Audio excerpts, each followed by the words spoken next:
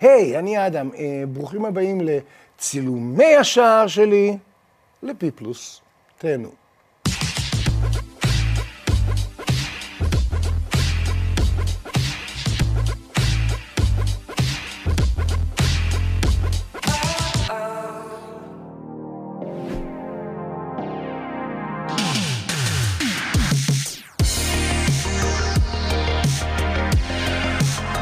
בשנות ה-80 נולד סופרסטאר חדש בישראל.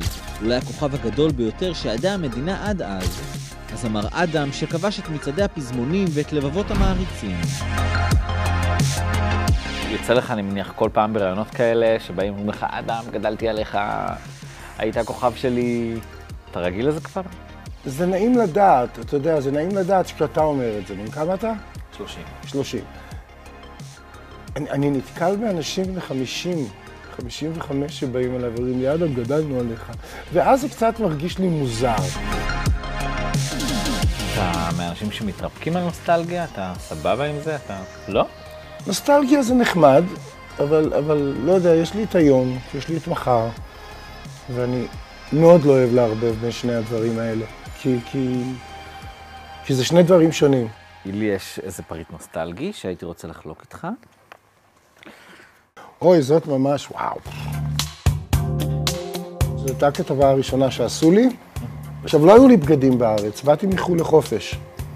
זאת אומרת, אתה יודע, כל הדברים האלה שבזמנו ניסו להגיד עליי שאני אה, אה, מתאמץ להיראות כך או כך, או להתלבש כך או כך.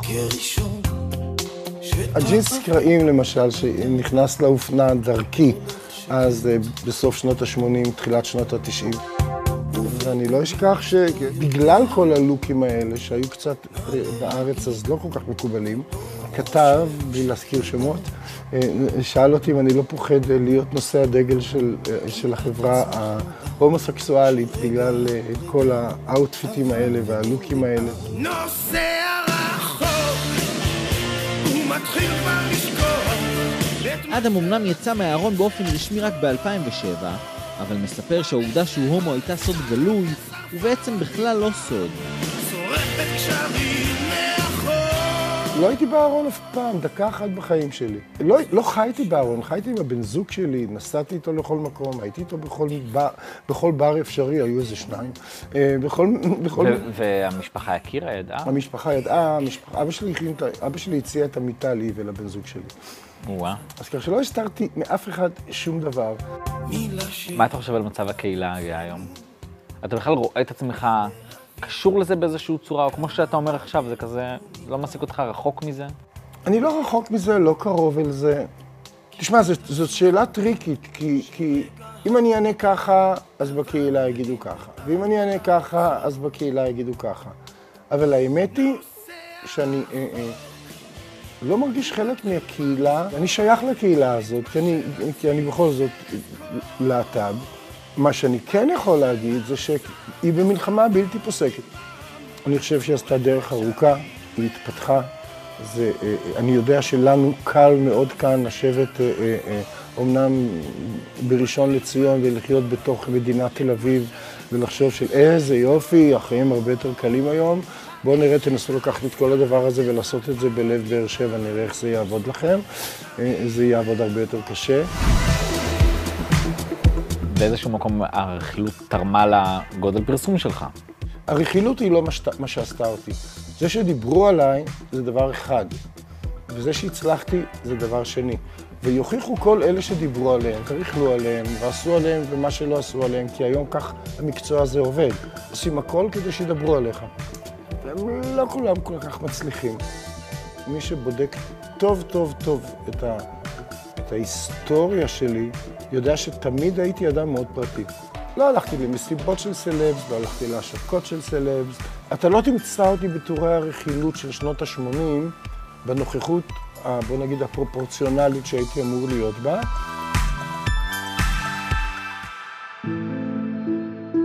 לפני כארבע שנים, המעריצות החסירו פעימה, כשאדם עלה לכותרות בנסיבות מדאיגות ואושפז במצב קשה בבית החולים. מה שלומך היום?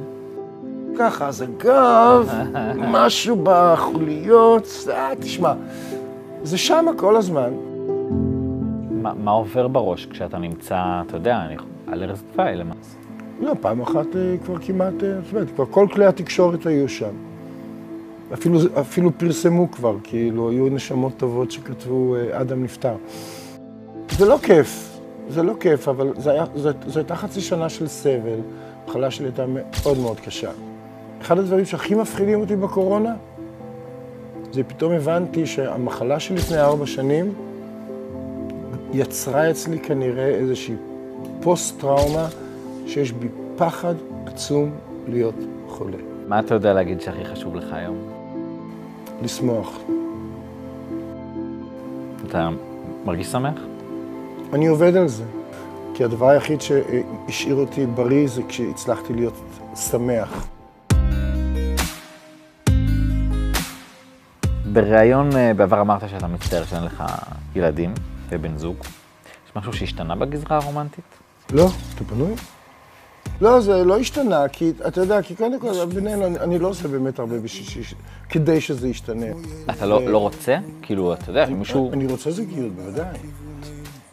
אין, אין יותר מדי מה לעשות, אתה יודע, זה... אין חוגים אה, לרווקים רווקים בעולם, בקהילה הגאה. אין כזה, אתה יודע, אז יש כל מיני אתרי היכרויות וכאלה, אבל זה לא זה. למי יש כוח לזה?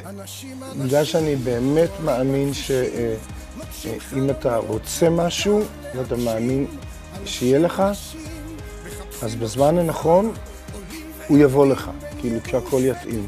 ואם לא, אז כנראה שלא צריך להיות. בגיל 60 עוד רוצים להתאהב? אין כזה דבר רוצים להתאהב. אפשר להתאהב. אפשר להתאהב גם בגיל 70 ו-80. לאהבה, זאת אומרת, המשפט הזה זאת לא קלישאה לאהבה עם גיל. מה אתה מחפש בגבר? אני, אני, אני רוצה אדם, לא גבר. כאילו, מה שהופך את זה לזה שזאת יכולה להיות גם אישה פתאום. יש עדיין את הרצון הזה לעשות קאמבק ולחזור להיות מוזיקאי ולהוציא אלבומים? כאילו לא צריך קאמבק, צריך רק להישאר, צריך, צריך אה, אה, אה, אה, לטעת את עצמך בתוך התרבות הישראלית. לקוות שמה שנתת אה, יצמח ויישאר והגזע שלו יהיה רחב.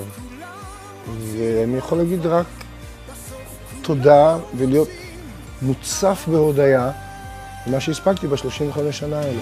ובסוף כולם רוצים אהבה, בסוף כולם רוצים אהבה.